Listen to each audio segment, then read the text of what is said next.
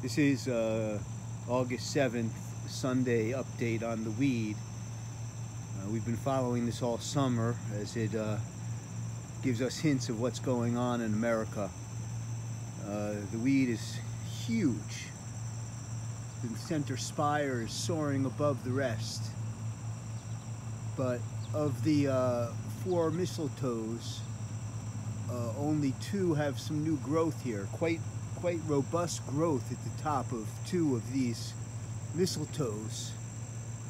But the other ones, they seem to be alive, but this one has some green on it. This is the one that had the weed weed uh, going around it, but I think they're alive.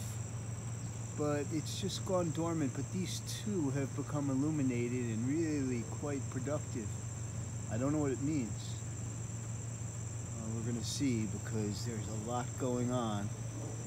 The uh, Inflation Reduction Act, the misnomer passed today. We really need an explanation of why they call something an Inflation Reduction Act when it really has nothing to do with inflation reduction, but needed social interventions in the capitalist skewed markets. Anyway, the weed is saying we're not out of the woods yet. And uh, hopefully it keeps growing a bit more. It's really, really quite an extraordinary weed. Anyway, enjoy your week. And uh, we'll see you next time. Take it easy. Bye-bye.